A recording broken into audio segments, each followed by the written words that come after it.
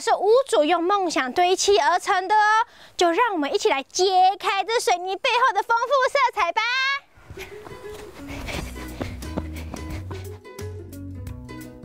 也许单看外观会觉得这里不够华丽，但是试着把新的容量放大，看到的眼界也会随着改变。原来这里不仅是一栋建筑，这里是山里的一间小屋。有山有树，有虫鸣鸟叫，还有可爱善良的人陪伴着这片土地。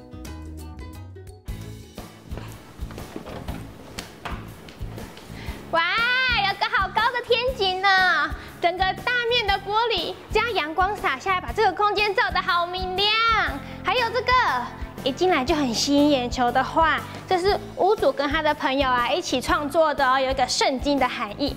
看那边有一个方舟，还有很多的动植物，表示造物主造万物生生不息的感觉。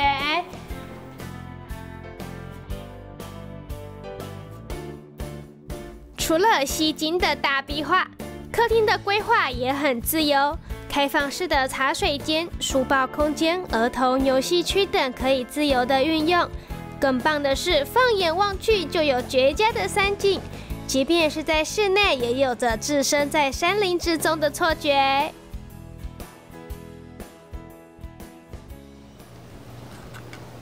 这里的风格啊很多元呢，像我们看到这个地板，它就跟外面的水泥建筑是一样的风格。而且大家知道吗？在这里面室内找到颜色，在大自然里面都可以找得到。当初屋主啊就跟他的太太一起到外面，然后拿着色卡就一一比对，哎。这个颜色有，这个颜色可以，然后就把它搬到室内来，所以室内室外是可以相呼应的哦。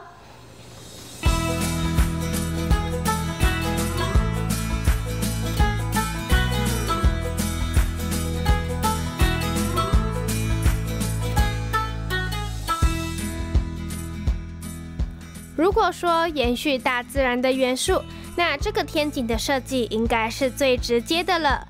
随着阳光的变化，室内的明暗亮度每天都有不同的惊喜。接下来，我们去参观房间吧。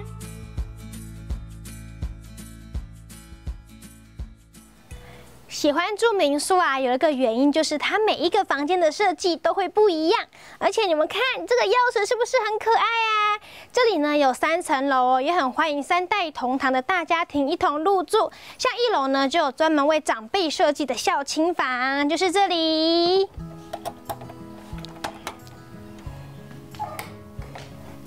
这间民宿啊，为了提倡环保，所以在室内呢都是没有冷暖气的。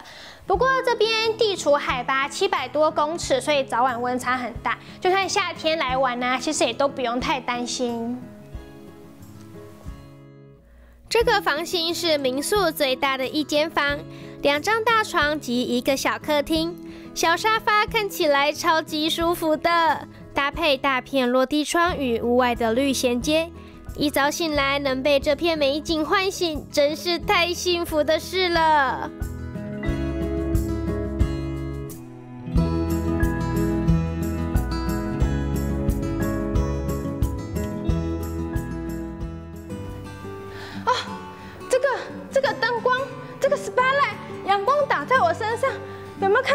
Super star 就在这里？这就像是我的伸展台一样，好像挺不错的哈。你看，在这里还可以在这边晒日光浴，哎，哇，好舒服哦！美景配美人就在这里，在你的眼前。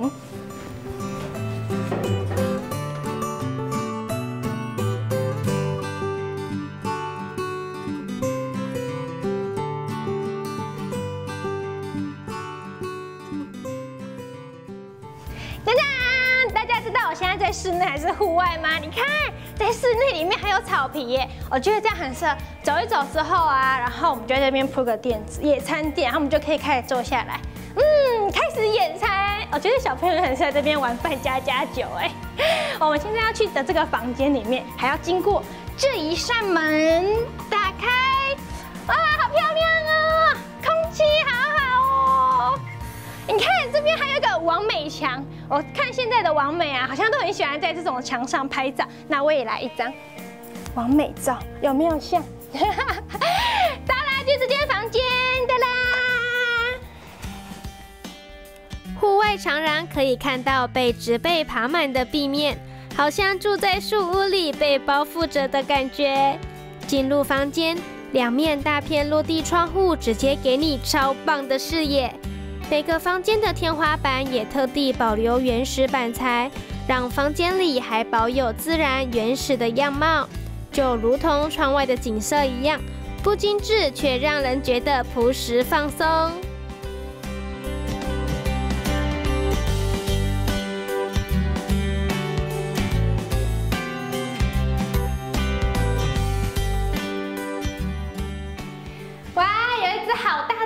色小鸭，这样看了好疗愈哦。这是屋主跟他的太太用瓷砖一起拼贴出来的哦。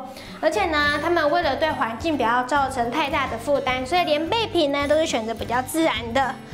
这个房间的风景也太好了吧！我们可以坐在这个位置，早上的时候呢等日出，下午的时候看夕阳，晚上还可以数星星。像隔壁的房间有户外的躺椅，可以坐在外面。但是有利喜欢这个，可以躺在床上看星星的。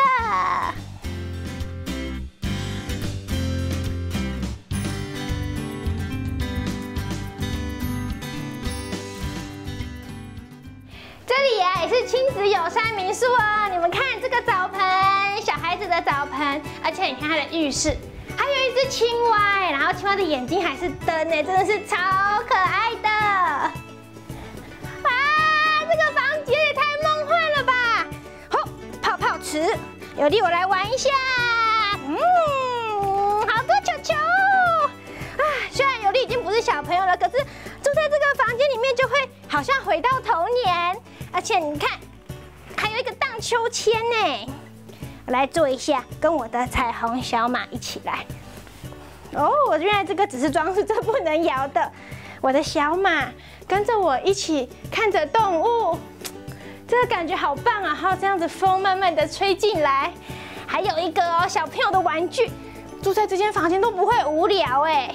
嘿，搬家家酒，来，摄影师你想吃什么？茄子加西瓜一起炖给你吃。然后呢？橘子加柠檬一起炒给你吃。好嘞，我来烹煮一下。好了，摄影师们，你们可以先离开了，我自己慢慢享受这个快乐的时光。这里最吸引我的地方就是，主人让每间房间都有很大的对外窗，进了房间可以静静的欣赏大自然每分每秒的变化。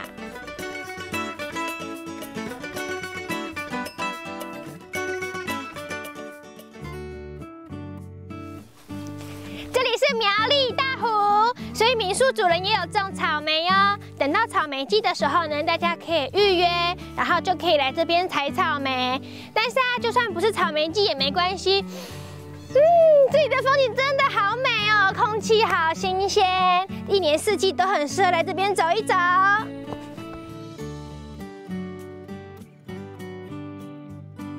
这些李子树也是民宿主人栽种的。当初他们可是一群等待被淘汰的老李子树。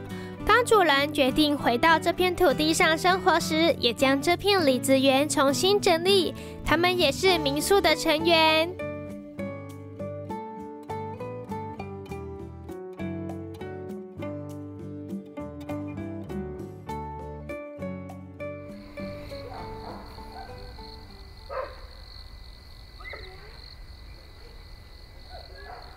今天呢，一整天这样介绍下来，我觉得这边给人的感觉好舒服哦，很像有回到山上的家的感觉耶。其实啊，刚才尤里有跟老板聊过哦，老板说啊，他希望来这边的旅客呢，都可以很亲近大自然，所以我们从他的房间的设计呢，其实就可以感受得到，像他很大片的落地窗啊，或者窗户一打开。哇，这些可以吸到新鲜的空气，这一点就看得出来哦。然后老板还说，这边的植物，他们很多都是一颗种子落到哪里，然后就不管它，它自然生成。有一种像是这个种子呢，选了这个地方这样做是它的家耶。我觉得这样其实也很棒。然后因为这边是山区的关系，所以周边没有什么商店，这里的餐食呢都是一博二十。然后民宿主人的妈妈是客家人，所以我们可以吃到好吃的客家餐。看我眼前的这个就是客家小炒，梅干口了。然后这边有自己种的蔬食，不同季节都可以吃到。看当季的竹笋，好，还有丝瓜跟龙须菜。啊，这样子介绍下来，闻着这个味道好香哦，肚子好饿。好了，尤利要来开动啦！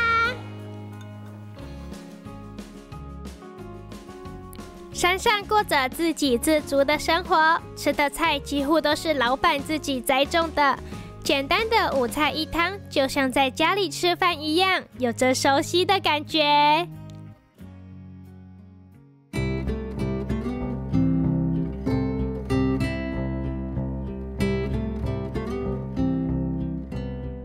静静的享受山中的微风，享受这在平地难得有的悠闲时光。累了就回到房间，在大自然的哄睡下进入梦乡。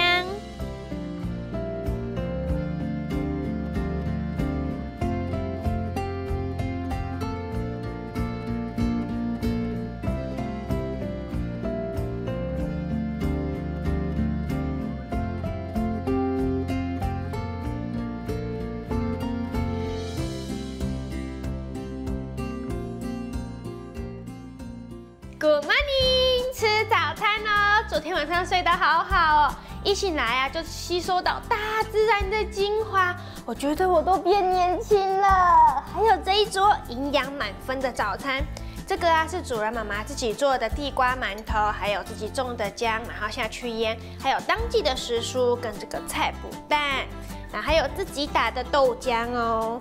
因为早上起来有点凉凉的。所以吃一个暖胃的粥真的是刚刚好。那现在呢，我要来开动喽。